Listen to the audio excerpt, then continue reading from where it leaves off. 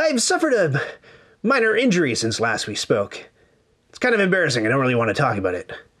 Uh, AEG, who sponsored this video, sent along this prototype copy of Dead Reckoning, which is an open sandbox deck building pirate game for two to four players, with a unique card crafting system that you might recognize from designer John D. Clair's earlier effort, Mystic Vale. If you'd like to see how the game gets set up, use the show notes to skip along further in the video. Otherwise, stick around and let me show you how to play. You and your friends each command a ship in an old-timey period when every day was brought to you by the letter R. You'll sail the seas, discovering islands, taking them over, building stuff on them, gaining cargo, stashing gold, and upgrading your ship. Your crew cards are transparent envelopes that you can customize with different abilities that you gain at sea. You'll also level up one of your crew members each round to make them more and more mighty. But is there fighting? Of course there's fighting. You'll be dropping cubes into this ship-shaped cube tower to duke it out with merchants, enemy buildings, and player-controlled pirates. There are all kinds of different achievements to earn and strategies to explore. At the end of the game, you rack up coins for every cool thing you did, and whoever winds up with the biggest booty wins. Here are your starting digs. You've got a ship at port equipped with two sails and a cannon. It can carry seven units of cargo and or coins, three here and four here.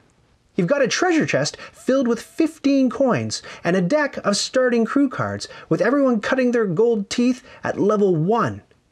This remote harbor tile is the same as the harbor spot in your ship color. It's just portable so you don't have to keep reaching across the table. You start with a certain amount of cargo in your harbor depending on your spot in turn order. The ocean map is a 4x3 array of tiles. These ones start flipped over, and each tile gets a randomly drawn advancement or encounter on it. You're going to be sailing around doing cool stuff and trying to knock off these various achievements. The first player to finish four achievements triggers the end of the game. Everyone else gets one last turn, and then you rack up coins for a bunch of different things to get your final score. I think if we go over these achievements, you won't fully understand what I'm talking about, but it'll give you a great sense of what goes on in the game and maybe a vague idea of what to shoot for. Hey! Achievements! You'll earn this one for exploring X different ocean tiles, where X depends on the number of players in the game. To get the Master Merchant achievement, you have to cash in 12 barrels of cargo in one go. You can become a capitalist by stuffing 30 coins in your chest. The coins in your chest stay secret throughout the game, but you gotta let everyone know you're filthy rich and show your coins to take this achievement once you reach 30. The Builder achievement goes to any player who owns five or more buildings at one moment in time. If you lose control of an island with a building on it, dropping you below five buildings, you still keep the achievement. Get the Expert Sailors achievement by upgrading three of your crew cards to level 4. The Elite Vessel achievement means you've gussied up your ship with four upgrade tiles. If you get six or more permanent cubes on various islands, you can claim the Settler achievement. To become the terror of the sea, you have to sink another player's ship. And you earn the legendary achievement for winning four battles against anything other than a building. So grab any four of those achievements to trigger the end of the game. But the triggerer is not necessarily the winner, as we'll see later when we talk about scoring. Your turn! Your turn is split into two phases doing stuff and cleaning up. Now, when you're doing stuff, there's a bunch of stuff you can do, and you can do that stuff in any order you like, as often as you like, as much as you want to or can afford to. Here's what that stuff is you can load, unload, or rejig your cargo and coins. There are a few different places where you can stash your goods. Cargo and coins can go on your ship, cargo can go on your dock, and coins can go in your treasure chest. You can also move your cargo and coins to or from islands that you control, but it's a little riskier to do that because pirates. These icons with the little anchor mean you can get cargo or a coin on your dock. These ones mean that stuff goes on your ship. These ones mean the stuff goes on an island. And these ones mean the stuff can go anywhere. Then, if you see the same icons with a slash through them, that means you lose the stuff from those locations. So when you're docked at the harbor, you can unload any number of cargo barrels from your ship to your dock tile and vice versa, if you can fit it. You can offload coins from your ship into your treasure chest. These spots on your ship can hold cargo and or coins, and the limit is written here. Later, you can upgrade your ship to carry more stuff. If there's a jerk pirate at an island you control, you can't load and unload there. You'll have to defeat the pirate first before you can access the island. And if there are multiple jerk pirates, You'll have to defeat all of them. You can always move the stuff around on your ship, even when it's not your turn. And even when you're about to be attacked, you can just dump your booty in the ocean and let it float away to the general supply.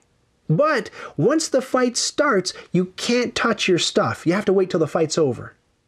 You'll have drawn a hand of cards, and you can play as many of them out in front of you as you like at any point during your turn. On your turn, you can use the abilities on your cards now or later during your turn, or you can just let a crew member sit there. We'll see why you might want to do that in a second. And we'll take a closer look at what the cards do shortly. You can also set your sails. This is the only action that you can take only once on your turn, because sails are the finite movement points that you'll use to travel around the map. And once they're gone, that means that the wind has died down and you won't get them back until your next turn even if you play a card that has more sails on it. You count up the sail icons that you have on your ship and your cards and move the token to that number. So that's how many movement points you get. Your ship has two sail icons to start, but the catch is that if you've got any coins or cargo blocking up either of these two sections, you can't hoist those sails. So you don't get those movement points. But if you're docked at the harbor or at an island you control with no enemy pirates around, you can technically offload all your stuff, hoist your sails, and then load it all back on. So, the shorthand for this is that you get to hoist these ship sails whether they're blocked or not, as long as you're at harbor or at an island you control that isn't infested with pirates. If you're at an island you don't control, you could always unload your stuff there in order to hoist more sails. But you can't load that stuff back onto your ship since it's not your island. Alternatively, you could rearrange your stuff to free up a sail, or dump it in the ocean if you really need sails this turn. Your ship can move orthogonally around the map, but never diagonally. It costs one sail point per tile to move. Every dock is just one movement point away from any of the first row tiles, so this player can move down here with a single movement point. If you stop on an undiscovered tile, you have to flip that tile over. There's a numbered box of enhancement and encounter cards for each of the four rows. Take one out of the box and stick it on the new island. You can move through an undiscovered tile to a discovered one, but you can only discover one tile on your turn. So if you flipped a tile and you still have movement points, you can't sail onto an undiscovered tile and end your turn there. Whenever you discover a tile, remember to put one of your cubes on the Navigator achievement. Once you place X cubes, depending on your player count, you can put your marker there and claim the achievement. You're allowed to move through or stop on tiles with other players' ships on them because they're peaceful merchants and it's all cool. But some players are in pirate mode, which means they're jerks. You can move through a tile with one or more players who are in pirate mode, but if you stop there, you'll start a fight. If more than one pirate is there, you'll start a fight with absolutely everybody. If you're on a tile that has an advancement or encounter card there, you can buy it or resolve it. You can acquire up to two of these advancements on your turn. The cost is here, so with this one, you gotta pay four barrels of cargo from your ship. You take the card and put it next to you on the table for now. Encounters are a tiny bit different because they give you a choice. You can buy them, just like advancement cards, or you can flip them over and resolve them. All of the encounter cards in the base game are merchant ships. When you flip the card, you'll usually end up fighting the ship, and different things can happen depending on whether you win or lose. I'll cover combat rules shortly, so sit tight. The cards get juicier and more powerful the farther out to sea you sail. If you buy an advancement card, the tile stays cardless until the end of your turn because that section of the sea has nothing more to teach you, for now. And the final bit of stuff you can do on your turn is to activate an ability on a card that you've played out in front of you. Some cards give you extra sails, and some give you cargo. Most of the other symbols tie into game mechanics we haven't discovered yet, so I'll mention those as we go. At any rate, you can put a cube on a played card to remember that you've used its action. The green vertical line means and or. You get what's on either side of the line, one or both, in any order you like. The red diagonal slash is strictly or. You have to pick one thing.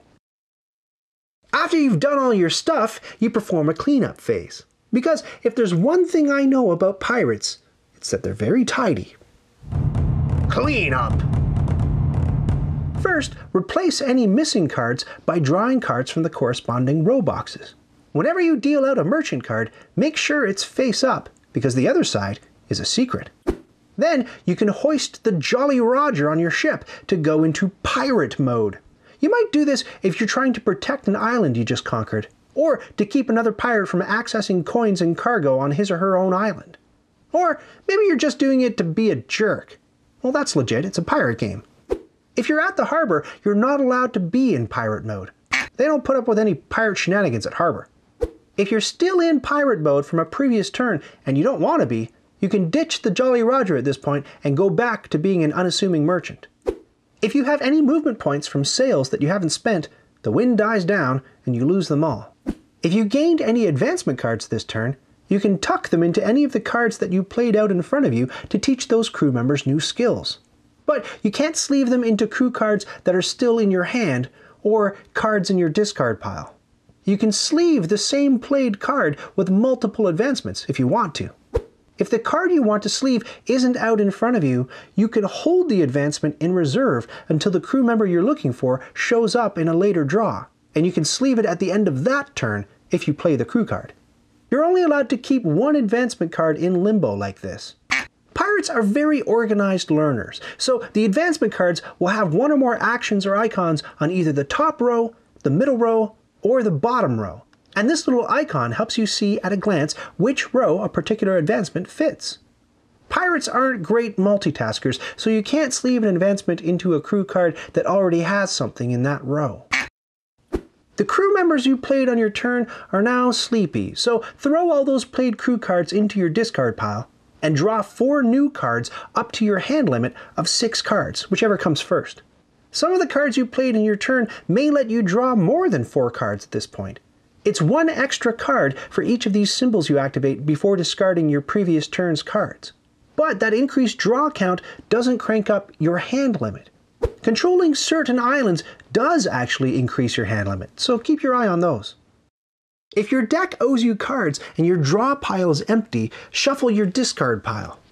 Now, because you're sleeving your cards, some cards may feel thicker than others. To avoid cheating your draw by feels, you can ask another player to cut your deck to keep you honest. Honest like a pirate. As you play, your pirates gain experience. At any point before your next turn, you get to pick one of the crew cards you just drew and level it up. To crank a level 1 card up to a level 2 card, you rotate it.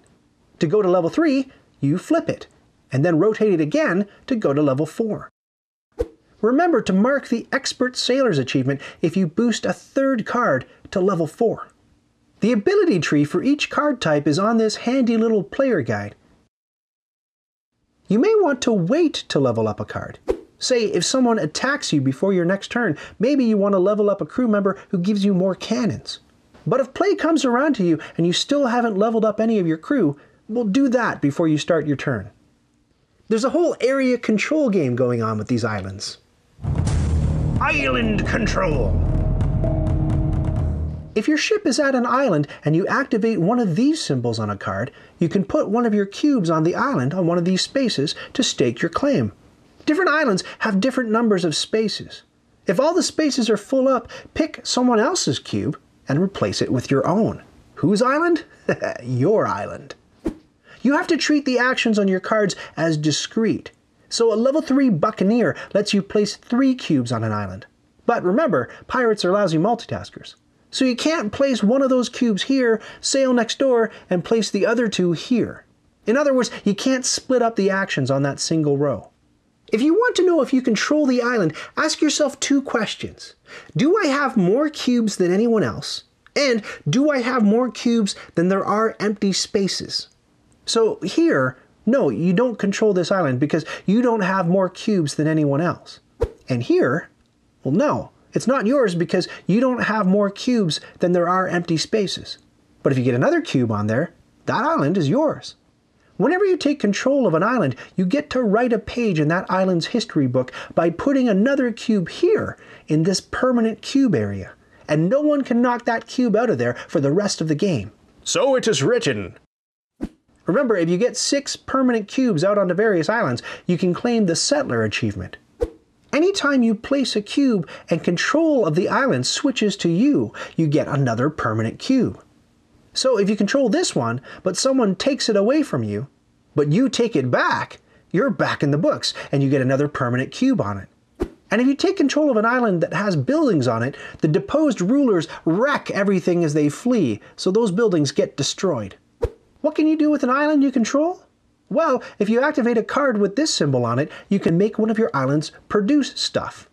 You technically don't have to control the island to make it produce goods, but it's kind of a sketch idea to enrich an island you don't control, or don't plan to control very shortly. Pirates can't thrive on community booty. Look for the icon down here to see what the island generates. If there's an open sea tile pointing at the island, it gets one additional coin whenever it produces. The clear thematic justification is that the oceans are filled with fish that are stuffed with money like pinatas. Those fish are spitting those coins onto the neighboring islands. So, goodies show up on the island, and since you control it, you can load cargo and coins from there onto your ship. As long as your ship is at that island, and there's no enemy pirate blocking you. If you maintain control until the end of the game, you also score this many coins for the island. Second and third place area control winners get these prizes. Different islands have different control contests and prize amounts. The harder it is to control an island, the bigger the reward you get for controlling it. If you activate this symbol on a card, you can buy a building for your island, either a fort, garrison, or outpost, for various prices. An outpost helps your pirates locate more natural resources, so it boosts an island's production by one cargo and one coin. Unlike the other two building types, outposts can't be attacked. A fort, packed with soldiers and guns, protects the place. It locks the island so that only you can interact with it. That means that no one can put any cubes there, load stuff, produce, or unload stuff, even if they have a card that says they can, unless the card action says it overrides forts. Forts don't mess around with the advancement card on that tile. Anyone can still buy the card or resolve the encounter on that tile, even if there's a fort on the island. It's not a floating fort. Other players can choose to fight your fort. More on that later. Garrisons do the same stuff as forts. They're a little bit weaker in combat, but the cool thing is that they'll shoot at any ships just passing by.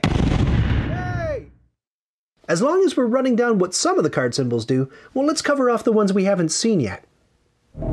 Card effects. Cannons give you more cubes to use in battle. Battle's coming, I promise.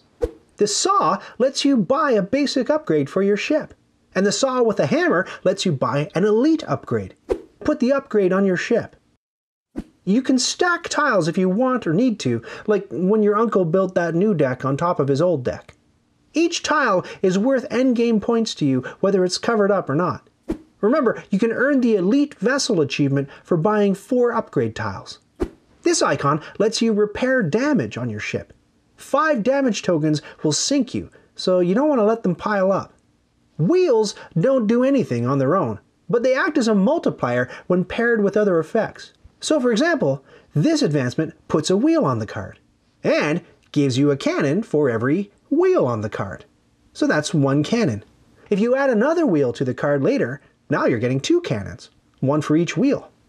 This icon lets you attack another player who isn't already asking for a fight by being in pirate mode. Some cards have battle effects, which we'll talk about in a sec. We're almost at combat. Don't pop your eye patch. Finally, there's some purple jazz on some of the cards that give you endgame scoring bonuses, like this one, which lets you cash in cargo for coins at the end of the game. Fighting. Yo ho! We made it to combat. Here's how you fight in Dead Reckoning. If you stop at a tile with one or more pirates on it, you fight. If you choose to battle a merchant card instead of buying it, you fight. If you want to destroy someone's building, you fight. If you pick on a poor innocent ship using your attack icon, you fight.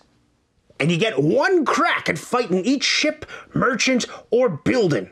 There's no repeat fighting on your turn, whether you win or you lose. Let's fight a merchant ship first. Flip the card, and if there's a fight to be had, the card will tell you how many battle cubes the merchant ship gets. Then you take battle cubes for yourself based on how many cannons you have on your ship, and for any cannons on cards you decide to play and activate. Your cannons are one use per turn. So, if you plan on fighting multiple things, you may want to hold a few cannons in reserve for your next battle. So you get cubes, and the merchant gets cubes, and you drop those cubes into the ship where they scatter out onto the battle board. If a cube lands tilted, it's considered to be in the space it's sort of touching. If it lands fully outside of any recess, you redrop it. If a cube lands here, that's an explosive shot. The cube's owner gets an extra cube, and you drop both back into the ship. Kapow! Then, if you have any battle abilities on your cards, you can activate them now in any order you like. These are the victory spots that decide the battle. Whoever gets the most victories wins, and in the case of a tie, even at 0 to 0, the player whose turn it is wins. Next, if any cubes land here, their owners gain plunder that's just randomly floating around in the ocean, probably from exploding those fish pinatas I mentioned earlier. The plunder either goes on your ship, if you can fit it, on the island where the battle is happening, or back into the ocean to feed the fish. Merchant ships don't get any plunder, so don't worry about them. Then you resolve these spots, which can potentially damage both ships. But if you're fighting a merchant, only the merchant cubes landing there will damage you. Put these tokens on to track the damage. Merchant ships have win and loss conditions printed on them. If you lose to a merchant ship, follow the loss conditions and get rid of the card. If you win, you may get to sleeve a merchant ship card for its tasty benefits. If you stop your movement in pirate infested waters, or you use an attack symbol to take on a peaceful ship, you begin a player versus player battle. In the case of multiple pirates, you have to fight every pirate on the tile, but you decide who to point your cannons at first. There are a few differences between a player versus player battle and a player versus merchant card battle.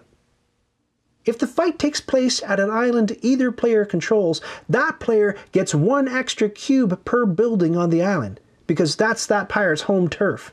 If you attack a player at the harbor, the harbor guard steps in to help, so the defending player gets four extra battle cubes. After the attacker counts up cannons and determines how many cubes to drop in battle, the defender gets to play and activate cards and count up cannons to determine how many cubes to use in their defense. And those cards stay in play until the defender's turn later on in the round. So, if any other player attacks that defender, those cards can be reactivated in new battles. So the cannons are only single use if you're the attacker. They're multi use if you're the defender defending against multiple players. After you drop both players' cubes, and before resolving the battle board, starting with the active player, you have an opportunity to influence the results of the drop. You go back and forth and activate your card's battle abilities. This volley only ends after both players pass consecutively. Battle abilities can sway the fight's outcome. If cubes land in these spots, both player ships get to collect fish pinata plunder, win or lose. All of the spots on the battle board resolve according to whose cube lands there, except these damage spots. If your cube lands there, the other player takes the damage. If a player loses the fight, his or her ship gets one damage token on it. If that player was in pirate mode, the ship gets stripped of its Jolly Roger, which means you can interact with the island again. And if you didn't defeat every pirate on the tile, that island is blockaded and you can't access it. If the player who wins the fight doesn't already have the legendary achievement, he or she gains a cube in that spot. Four wins against anything that isn't a building gains you that achievement. Okay, so what if you fight a building? As long as the island isn't protected by one or more pirates, you can fight either a fort or a garrison. A fort gets 5 cubes, while the weaker garrison gets 2. If an island has both a fort and a garrison, the defender gets a combined 7 cubes to defend, and you fight both buildings at the same time. Outposts can't be attacked. All the rules are the same, except that only the attacker can use battle abilities, and nobody gets any fish pinata plunder if the cubes land on those spaces. If you win, you knock out the building you fought. If you lose, your ship takes a damage token. Five or more damage tokens sink a ship. If you take five or more tokens during a battle, finish the battle and then sink. If you take your fifth token outside of battle, say by being shot by a garrison, sink immediately. You lose five coins from your ship. If you don't have five on your ship, you lose the coins from your treasure chest instead. Your ship gets warped back to the harbor, you ditch all the damage tokens, your sails get deflated to zero, and everybody laughs at you. If you have any coins left on your ship, they go straight into your chest. If another player caused you to sink, the coins you lose go directly to that player's treasure chest. And that player earns the Terror of the Sea achievement. Cubes are limited. If you ever run out of them during a battle, you have to pluck them from your islands. Endgame. Once a player earns a fourth achievement, that triggers the end of the game. That player finishes up his or her turn, and then everyone else gets one more turn.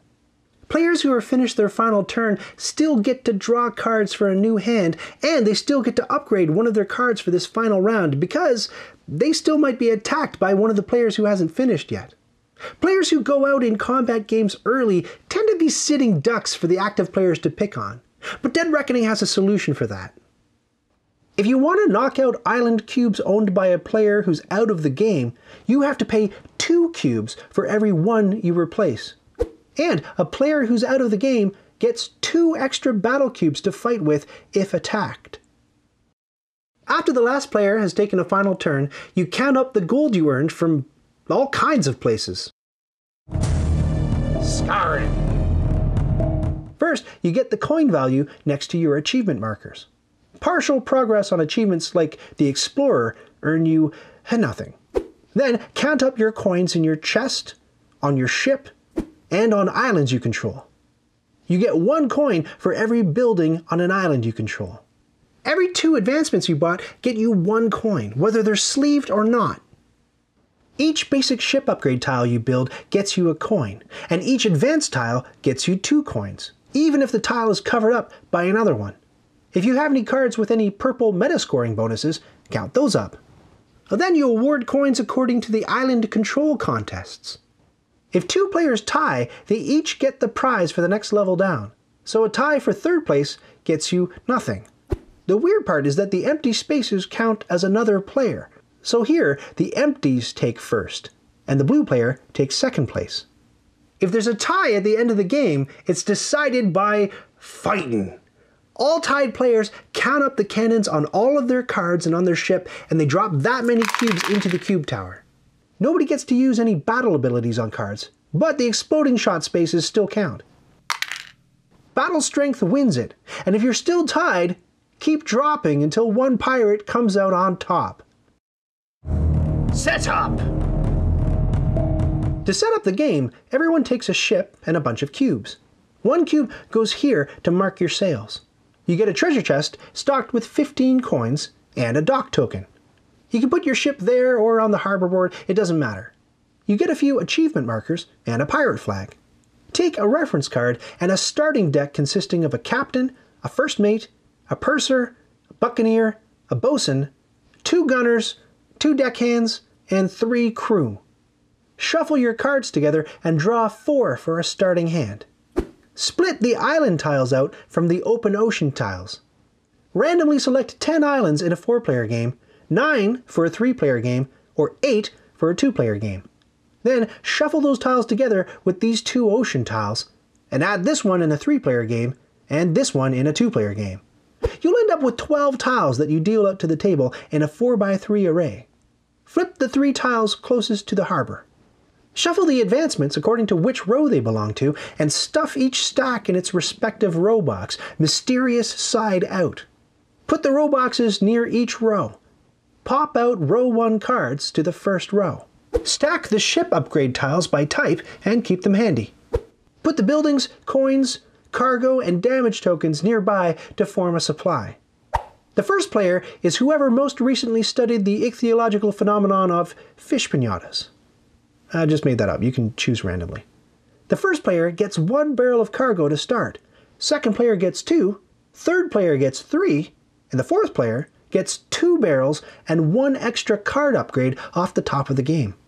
And now you're ready to play Dead Reckoning. Okay, so there I was with my novelty cocktail plastic sword in one hand, and I